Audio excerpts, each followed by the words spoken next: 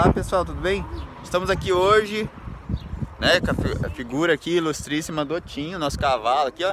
Cavalo do pai. Cavalo é, cavalo é Tinho.